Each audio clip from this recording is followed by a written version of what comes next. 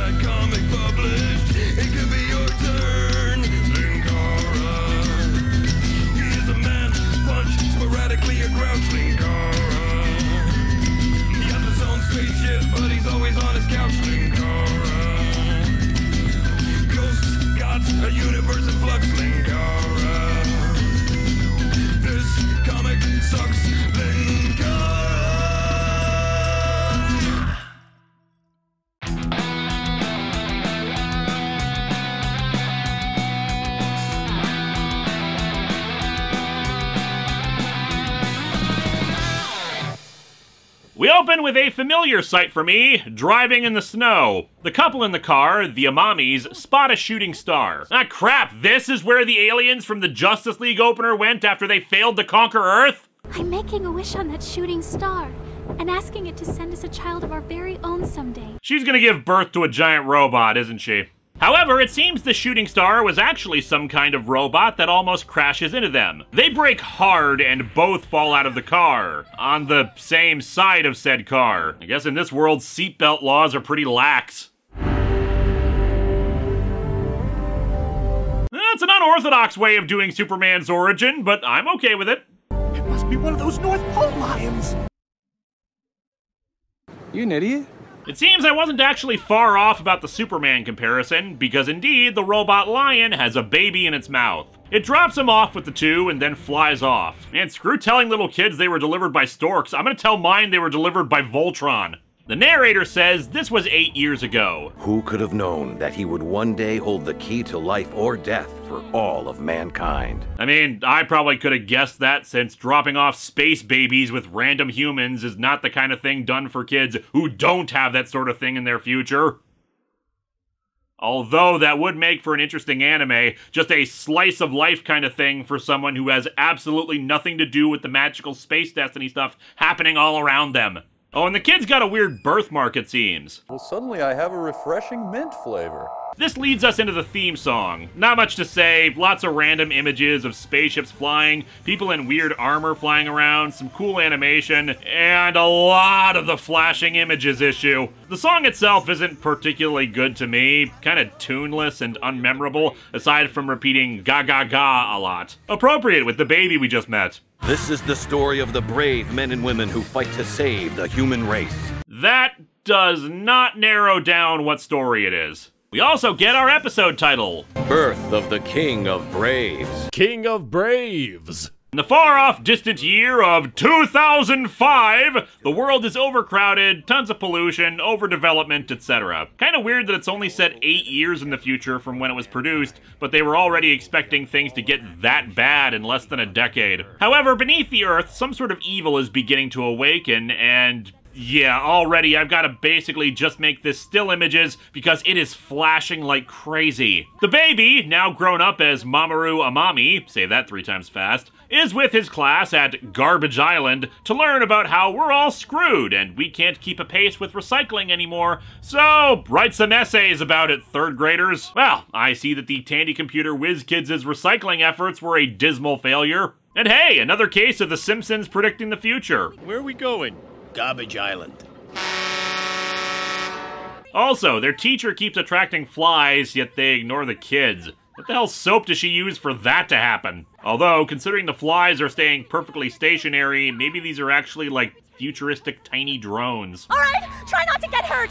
You're on your own from here on out. I see in our old future, teachers don't care about getting sued anymore if they let their kids play in a landfill. Hey, Timmy, I see some used needles over there. Let's play with them in the moldy puddles. Hey, they got one thing right about the future, though. Kid playing on his Nintendo DS in his class in 2005. I can't believe someone would already toss a 2002 flat panel TV. Well, call me an empiricist, but I think it might have something to do with that huge, obvious crack in the middle of it. Hey, cool! This portable mini disc player still works! The most popular medium among kids mini discs!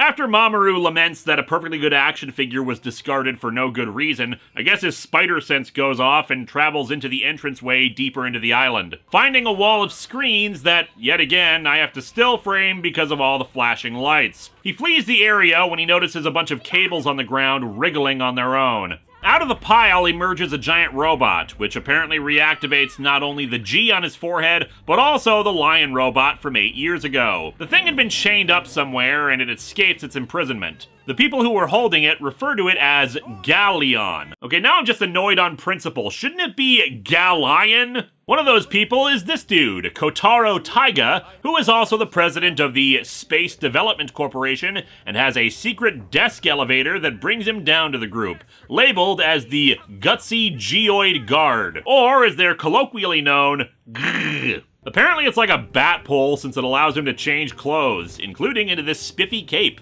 The narrator explains that the Guard are a world defense force, their headquarters located at the bottom of the ocean. No doubt in case Cthulhu rises again. Holy crap, why have we not had Lovecraftian monsters versus giant robots yet? But just what is the 3G organization, and why are they armed with the mysterious mecha lion named Galleon? Well, you're the narrator, shouldn't you know? They're confused about what could have awakened Galleon until one of their agents shows them the giant robot on Garbage Island. With Mamoru in danger back on the island, Galleon starts trying to attack the gate to be let out, so they decide to let it loose, launching it out of its own little ship. Gonna be really awkward if it turns out it just needed to go to the bathroom. Back with Mamoru and the other kids, he spots one girl, Hana, has been thrown over the edge of their boat and now risks falling. But he and a bunch of other kids form a chain to reach down and grab her. Oh, but we also learn that they are not just in their boat, but rather on top of the giant robot's ass. Okay, more like tail position, but that's not as funny as saying they're on the robot's butt. Only those five kids are still on the boat, the rest having been thrown clear. The Japanese Defense Forces scramble some fighters to intercept the thing, but as with any kaiju movie, you can tell how well that goes for them. A neat trick is that the robot has apparently taken discarded microwaves and combined them into a weapon. Deadly, yes, but I do see there being a practical purpose for such a weapon.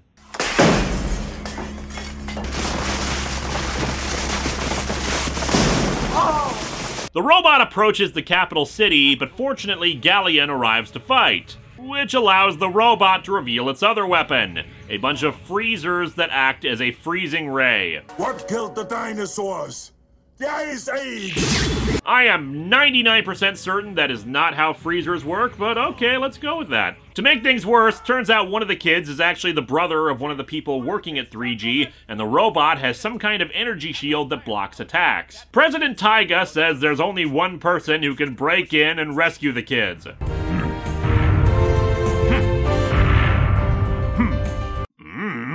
No, they're sending in this guy, Guy Shishio, and his magnificent hair. Who just happened to be standing nearby at the time, I guess. And hey, he's got all that armor on him to protect him. Probably needs a helmet, though.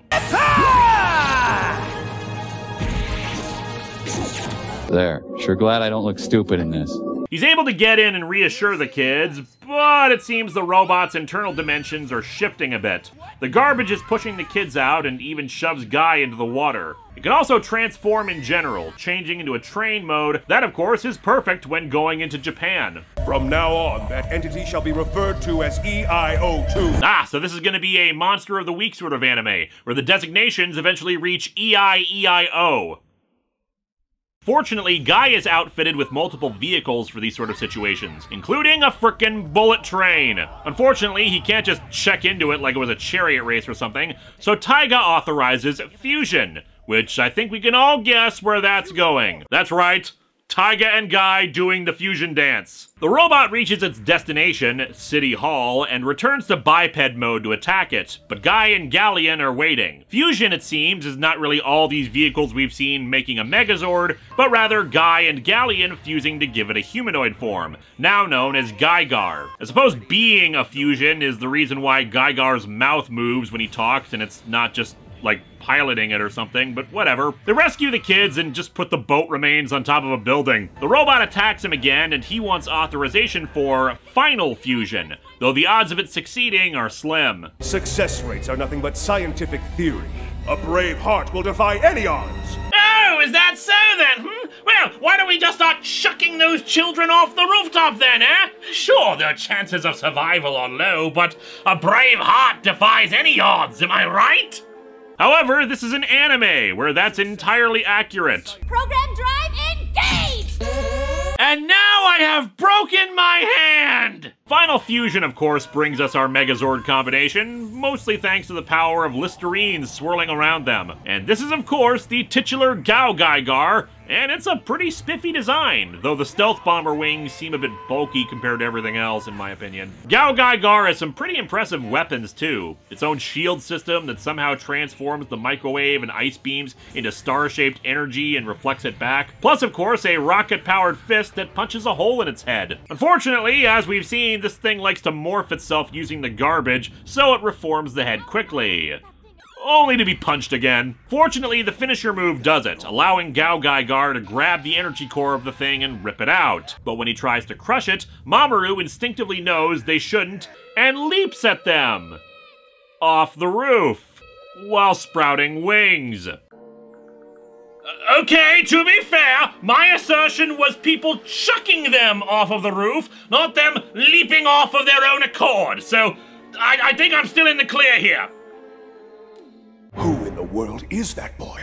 Well, based on the ending credits, he's apparently Pit from Kid Icarus. But yeah, that ends the first episode. Ending music itself is fine, nothing to write home about. While I've got a moment, I do want to talk about something annoying about this DVD that I've come across in others as well. So all my physical media, DVDs and all, I rip to have a digital copy. Power Rangers, movies, other TV shows, etc. It's just more convenient to have digital files since chances are I'll be using them in a video at some point anyway. With most DVDs, the movies or episodes of a show are their own individual files on it that the disc is accessing when it plays. But for some reason, a lot of anime DVDs have all the episodes as one file. And I don't mean, well, they have a big file combining them all and the individual episodes too, as an option if you just want to play all. I run into that sometimes too. I mean, this DVD has five episodes on it, but they're all one huge file.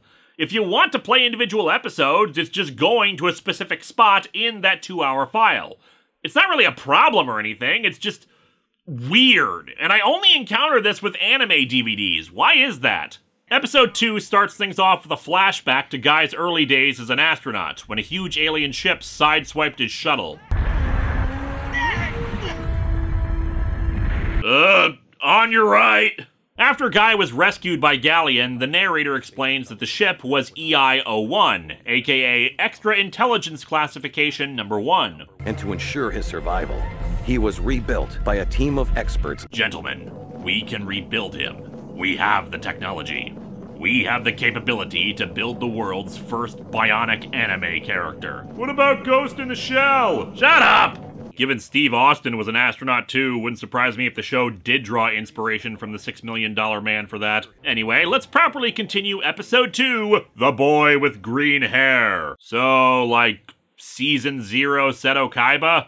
I mean, we already do have the dub voices for Yugi and Joey in this. Mamoru transforms the energy core briefly into some kind of weird form before then reverting to a homeless guy, who is, of course, very confused and horrified by all this. With his job done, I guess Mamoru's home planet needs him since he just flies off outside their ability to track him. After Gao Gaigar heads back to base, Mamoru apparently arrives back home and wow, I just realized how much gel is in this kid's hair. Like, did he get out of bed and decide to do that to it? But yeah, his parents are just happy he's okay. The AAMV has just retrieved GaoGaiGar and is preparing to redock with the 3G Bay Tower base station. Look, I know the giant robot action is over, but I don't think people's attention spans are so bad that you need to describe everything that's going on in front of us. We get a sequence showing not only Gao Gai Gar being cleaned, but the disassembly process, which takes a lot more effort than it takes to put it together. It's also evident that this whole ultimate fusion thing hasn't been perfected yet. Guy himself is severely worn out and having trouble focusing. Plus, an examination of the bullet train segments shows severe stress and damage just from the transformation process itself not from the battle. It's a neat touch, not normally necessary for a super robot show, but it does add a little tinge of realism in a series like this. Back in the land of too many damn strobe lights, the villainous face, identified as Pasdar, summons the Machine World Four Heavenly Kings to advise him. In the tradition of Dragon Ball characters, these guys are all named after Italian food. Pastar, of course for pasta, Polonaise, aka Bolognese, Primada, presumably for Primavera, Penchinon, I think for pancetta, and finally, pizza. That's a tough nut to crack, but I'm gonna guess that pizza is a reference to risotto. I am not kidding about the strobe lights. They're having a normal conversation about what happened, and the show refuses to not flash the lights. Just criminy, what was the creative inspiration here? Do they hate the audience being able to see what's happening? The gist of it is that they plan to use a different human for the core of their next robot that'll be more vicious than the hobo, and we see that it's probably this professional wrestler. Oh, and then there's the poor teacher whom reporters are ambushing. Look, big ants, piss off! While the other kids discuss what happened, Mamoru is more confused with himself and how he was able to do what he did. And then there's just a weird sudden cut to them explaining who the hobo was. It'll be like if in the middle of me talking about this, we just cut to. And that is why, from the perspective of the Contest of Champions, no time has passed at all. Long story short, the homeless guy had his own company that went belly up when the government ended their contract with him and his family left him, which is probably why he went after City Hall. But those at 3G can't figure out how he got involved with E EIO2. We've used hypnosis to try and trace his recent memories. Of course! Don't you know anything about science? He says machine people came to him and convinced him to be the core and that they'd help him get revenge. Also in his memory is a horse that he had gambled away his last money on and lost, and that horse's head shaped the head of the giant robot. The host's own emotions and memories influenced the robots. Anyway, back to wrestling. And in the red corner, the reigning SMW champion, Death Bomber! Wow. Who could possibly face off against a guy like that?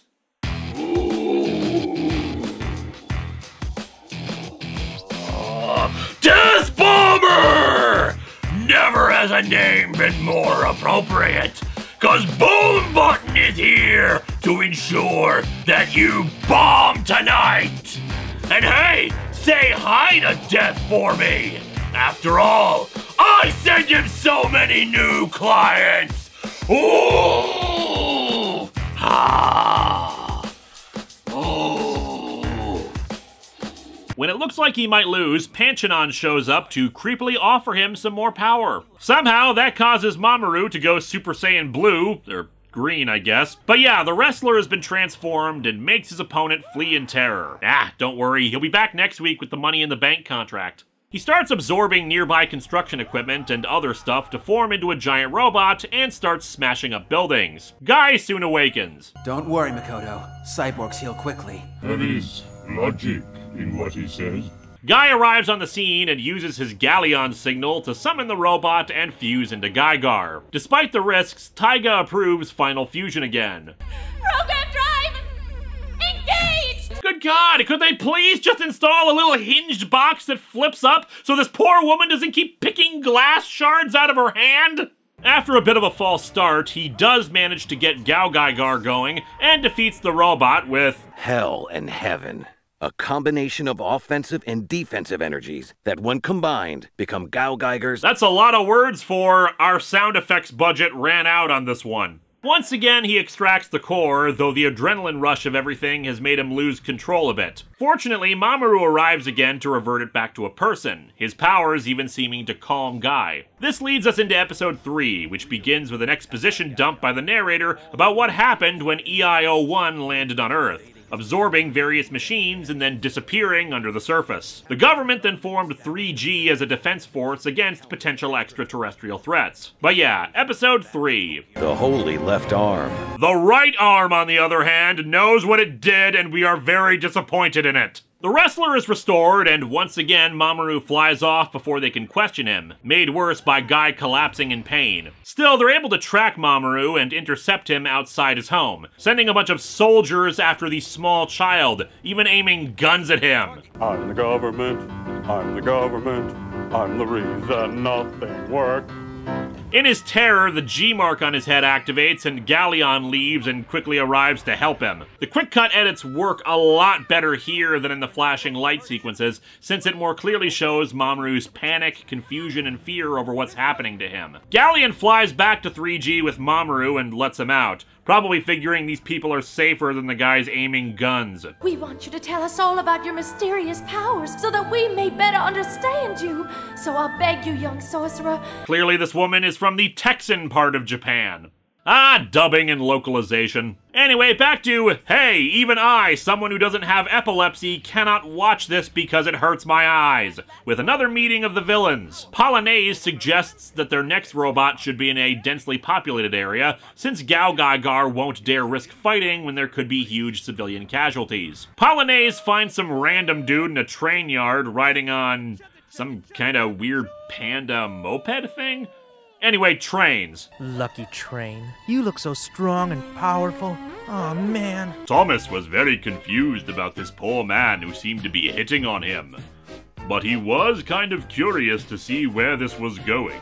So naturally, this guy's next on the transformation block. Back at 3G, the wacky scientist who's been around the last couple episodes is revealed to be Guy's father, talking to that lady who keeps injuring her hand on that button who's really into Guy. She's indignant that he let Guy out on this mission, but he basically says he's just happy the dude's alive when he should have died two years ago and wants him to make his own decisions. I know that Guy can fight without fear because he has you, Mikoto. Anyone who can keep doing that to their hand without incurring any lasting damage has gotta be tough enough for him. 3G contacts Mamoru's parents to let him know what's up, and they're surprisingly okay with this. I mean, they're obviously worried, but I feel like if my child was being held by the government, I'd be down wherever I could to tear the place apart until they let me be with them. They say to Mamoru that they told his parents that it's just the police questioning him about the first robot attack, but that would just make me even more inclined to go down there. Anyway, they examine Mamoru and can't find anything weird about him. His biology is completely human. EIO-4, which starts off as a combination of runaway trains,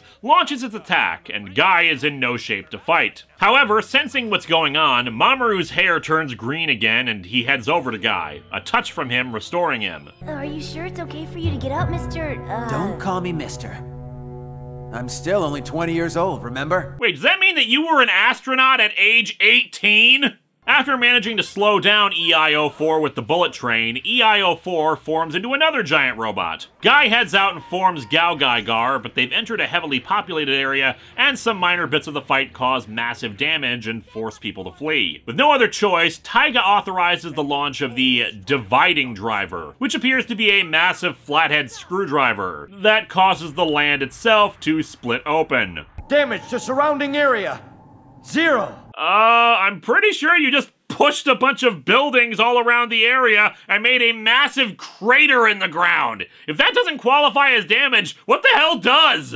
With free space to fight without collateral damage, the theme song roars in, or at least just the Gao Gaigar repeated phrase, and it lets him cut loose and destroy it and rip out the core. They instruct him to bring the core back to base, but Mamoru says it won't work that way. And indeed, the episode ends as the thing starts to take new shape. Next episode, the narrator explains what the dividing driver actually does. That compresses and shifts a large area of land for a specified time by warping dimensional space. I works the way you think it does. Compressing stuff like that will cause it to smash and break, not just shift around like you added a Photoshop effect. What the hell's going on for any people in those buildings? Or the pipes under them? We properly start off episode 4, The Fugitive Zonder, with the creature formed from the core just leaping away and into a pipe or something. They all just refer to it as a Zonder, so I'm assuming they know what the hell they're talking about. The compression field ends and everything returns to normal because physics are for losers who don't have giant robots. Mamoru seems to have the ability to track the Zonder, so they bring him into the area. He wanders off and he tries to be friendly towards it, offering to turn it back to normal. I don't know, guys. This new evolution for Grimer and Muk just doesn't feel different enough. He tries to restore it to normal, but it just tries to attack, forcing Guy to come in and save him. With the Zonder lost, they decide to bring Mamoru home to rest. Wait a second, you're telling me that you don't even know how you're sensing those Zonders? Right. I have no idea what a Zonder is. Wait, they've had this kid for hours and nobody thought to just ask him about this stuff until now? Mamoru asks Guy to not tell his parents about all this, which seems like a terrible idea. But Guy says he won't and gives him a signal device to let them know if he senses a Zonder. The next day, Taiga is informed that in his day job, they're getting ready to launch a space shuttle. Oh good, if nothing crashes into this ship, maybe we can finally get the Fantastic Four. After a little character moment between Taiga and Mamoru's dad, who, Coinky of all Coinkydinks, works for him. We get some discussions about how, well, they haven't found the thing yet, and some cute family moments with Mamoru and his father about what Taiga said. It's adorable. Of course, this also drops some exposition about the shuttle having the most advanced engine out there, so of course it's the target of the Zonder. Mamoru soon senses the Zonder's plans and informs Guy. 3G launches an investigation, but can't find it. Unfortunately, failing to find it also means they don't have a good reason to scrap the launch, so it proceeds. Oh, and I guess the kids are having another field trip, now to watch the launch. What a busy week these kids have had, from an island made of garbage to a friggin' space shuttle launch. The Zonder, of course, gets in and launches the shuttle prematurely, assimilating the craft. But fortunately, Guy has swapped places with the astronaut. He's ejected from the shuttle and forms Gaigar, sending it off course and crashing back towards the ground after releasing its fuel. After forming Gao Gaigar, he forces it into the water, where they lose sight of it. He uses the dividing driver to push aside a good amount of water to find it, managing to finally smash it and grab the core. Mamoru, having run towards the battle, once again flies in and reverts the core back to the weird train guy. And so our episode ends with Mamoru figuring that these powers he has must have been given to him to protect Earth from the Zonders. Yeah, that must be it. He's gonna turn out to be a Zonder himself, isn't he? Anyway, these episodes are mostly fine and good. Not super wowed by it, but it's not a bad start.